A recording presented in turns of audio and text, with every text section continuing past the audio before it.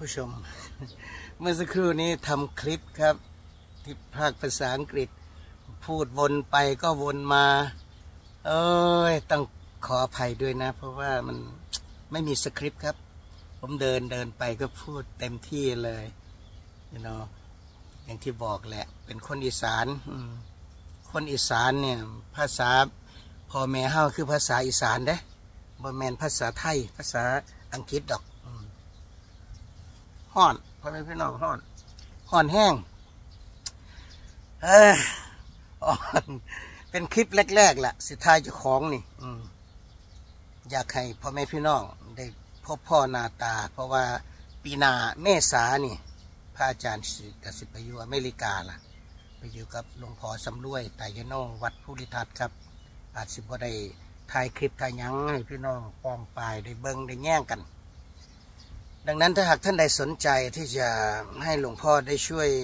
ออกแบบโคกหนองนาธนาคารน้ำนะครับ หรือ project โคกหนองนา groundwater bank ก็รีบๆโทรมา ปีหน้าก็ไม่อยู่แล้วนะ เมษาก็จะบินแล้ว ประมาณสักวันที่ 10 เมษาปี 2568 ครับไปอยู่อเมริกานานเลยครับ 4 ปีอย่างน้อยครับดังนั้นวันนี้ท่านผู้ชมครับ หลายคนบอกว่าทำไมหลวงพ่อมาทำโคกน้องนา ธนาคารน้ำมันเป็นกิจของสงฆ์ไหมเออก็แล้วแต่คนคิดเนาะแต่หลวงพ่อเชื่อ พระสงฆ์ควรจะชี้นำในทางที่ถูก ชี้นำให้คนได้หมดหนี้หมดสินพอหมดหนี้หมดสินก็มีความสุขครับ ดังนั้นการทำโคกน้องนาธนาคารน้ำเนี่ยก็จะเป็นเป็นเขาเรียกว่าเป็น คอนเซปต์หนึ่งครับท่านผู้ชม ที่เราคนไทยเนี่ยสามารถทำไว้เพื่อเกษียณอายุในอนาคตนะครับโคกหนองนาธนาคารน้ำเนี่ยพอขุดให้ถูกต้องนะครับ ขุดโคกหนองนาแล้วก็เจาะสะดืออย่างน้อยสามเหลี่ยมเบอร์มิวดาเนี่ยตาม concept ของพ่อแม่ครูบาอาจารย์หลวงพ่อเอ่อเจ้าคุณนิเทศศาสนคุณท่านสอนหลวงพ่อดรสังคมมา แล้วก็ฝนตกมาปั๊บนี่ ฝนเดียวเท่านั้นแหละครับ จะมีน้ำตลอดชาติเลย จะไม่มีแห้ง ดังนั้นใครสนใจนะ รีบรีบโทรมาจะออกแบบให้ฟรี แต่ขุดไม่ให้ฟรีขุดไม่ฟรีครับ ขุดต้อง4 5 0 0 0ต่อไร่เลยนะ เพราะมันต้องลงสองชั้นครับ ดังนั้นท่านใดสนใจก็รีบโทรเข้ามา 0 8 9 5 7 4 2 5 2 8 เดี๋ยวหลวงพ่อจะลงไว้ในในคลิปข้างล่างแต่ถามว่ากิจของสงฆ์หรือไม่ก็อย่างที่เล่านะครับ แล้วแต่คน พระอาจารย์สังคมเชี่ยวชาญด้านโคกน้องนาธนาคารน้ำปลูกป่าสามอย่างให้ประโยชน์สี่อย่างตามแนวทางพระราชดำริถ้าเทศหรือพูดถึงธรรมะก็จะเน้นเรื่องเศรษฐกิจกับจิตใจเนี่ยต้องแก้ไขพร้อมกันท่านผู้ชมพ่อแม่ครูบาอาจารย์หลวงปู่พุทธพจน์นะครับเจ้าอดีตเจ้าวัดวัดเจดีหลวงท่านเคยสอนหลวงพ่อแล้วก็ท่านเขียนไว้ในหนังสือว่าเศรษฐกิจกับจิตใจต้องไปพร้อม ๆ กัน อยู่ดอยผาส้มหลวงพ่อดรสังคมก็พาชาวบ้านทำเ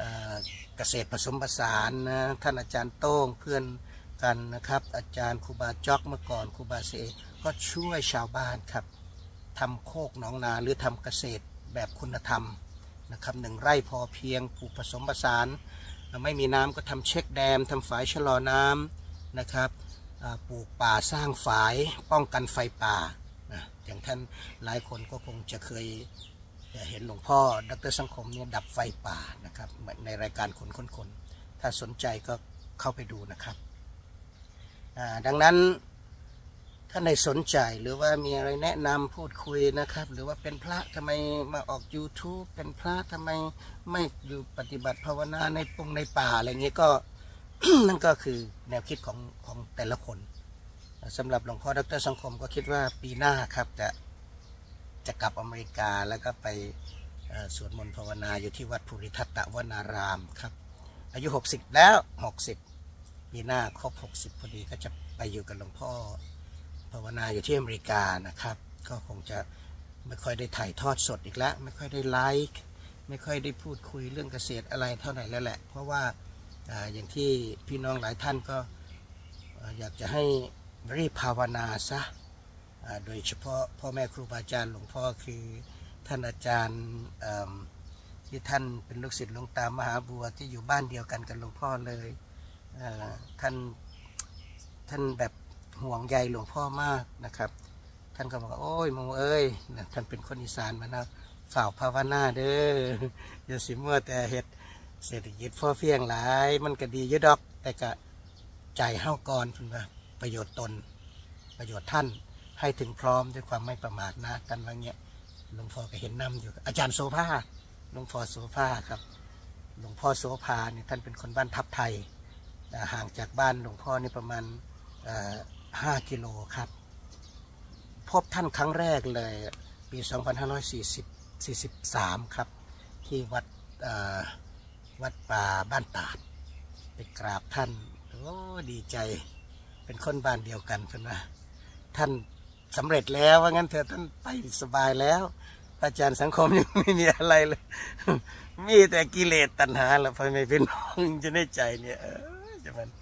เพิ่นก็บอกโอ้ยถ้าภาวนาสังคมเอ้ยวันนั้นไปพบท่านที่วัดป่าทับไทย โอ้ยเผาภาวนาเด้อมูเอ้ยเพิ่อนว่าเพิ่อนเป็นห่วง เป็นรุ่นพี่ครับ แต่ก็เป็นบ้านเดียวกัน พ่อแม่หลวงพ่อท่านก็ไป พ่อแม่ก็ไปดูแลอุปถากท่านสร้างกุฏิถวายท่านที่วัดป่าทับไทยครับอำเภอสนมจังหวัดสุรินทร์ครับเราคว่ำในใจพี่น้องแล้วก็ I believe it ทุกชีวิตนะมีทางยางของเจ้าของ ทุกชีวิตแหละพ่อแม่พี่น้อง มีทางเดินของภัยของมันอย่าสิวากันเถาะเนาะเจ้าอยากเข้าป่าภาวนากับเฮ็ดเองโลดหาเฮ็ดเองอยากได้พระดีจังพวกเจ้าต้องการก็เอาโลดอืมอาตมากับไปยังศิละคนอีสานหักแพงกัน โดยเฉพาะบ้านเกิดเมืองนอนของอาตมาก็คือรัตนพุละ อำเภอรัตนบุรีจังหวัดสุรินทร์ตอนนี้ก็ไปสร้างศูนย์ เศรษฐกิจพ่อเพียงจังหวัดสุรินทร์ครับผ้าแพนเคกเขมนิจจามิกรผ้าบอยพิษณุไปสร้างโคกหน้องหน้าให้เป็นตัวอย่าง จนกระทั่งท่านประลัดกระทรวงมหาดไทย ท่านสุทธิพงษ์จุนเจริญ และท่านสยามสิริมงคลอธิบดีพัฒนาชุมชนไปเบิงนะเมื่อ วันที่8มิถุนาอาทิตย์ที่แล้ว8มิถุนาท่านไปเยี่ยมโคกหนองนาธนาคารน้ำมูเดียวของหลวงพ่อดรสังคมที่อำเภอรัตนบุรีจังหวัดสุรินทร์โอ้ย ขอบคุณพ่อแม่พี่น้องปองปายที่ดูแลเพิ่นย่างดีเวลาไข่มุกเวลาไข่มุกกับมาลองเพลงให้เพิ่นฟังมวนหลายมีความสุขได้กลับบ้านโดนๆเทื่อหนึ่ง นี่ละพ่อแม่พี่น้อง จังใดกะ เมตตากันฮักกันเด้อมียังสิให้หลวงพ่อดักเตอร์สังคมซอยกะก็คอมเมนต์ไว้ข้างล่างสิว้าสิว่าสิดาสิยังกะเบาๆเนี่ยก็ได้บ่บ่ลำบ่รวยคือผู้อื่นคือหลวงตาสินทรัพย์แล้วดอก เราป่วยท่านเป็นเงินเป็นทอง หลวงครูบา อาจารย์ก็โอ้เพิ่นร่วมเพิ่นรวยเนาะเพิ่นมีวาสนาบารมีหลวงพ่อดอกเตอรสังคมก็เท่านี้ละไปไสมาไสก็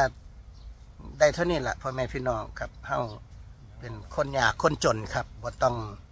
กินล้นยังหลายให้สบายสบายนะขอให้พ่อแม่พี่น้อง มีความสุขความเจริญเด้อหักกันหักกันเอา เก่าหน้าที่เราเบาข้าวเดียวหนึ่งเนาะ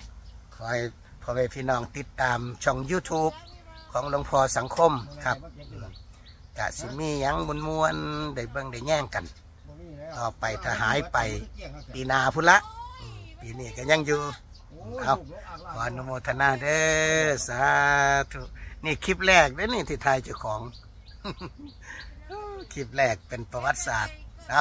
เมื่อยหลายห้อน ครับอืมขอพ่อแม่พี่น้องสุขุสุขคน จงได้มรรคผลนิพพานในศาสตร์นี้เด้อ สาธุ